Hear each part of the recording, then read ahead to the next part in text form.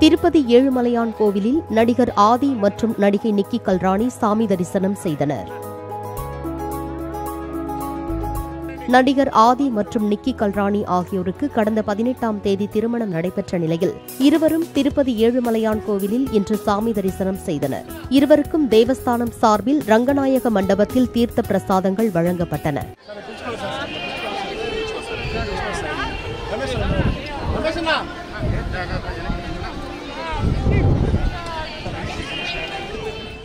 தரிசனத்திற்கு பின் வெளியே வந்த நடிகர் ஆதி மற்றும் நிக்கி கல்ராணியை கண்ட ரசிகர்கள் அவர்களுடன் செல்ஃபி எடுத்துக் கொண்டனர்.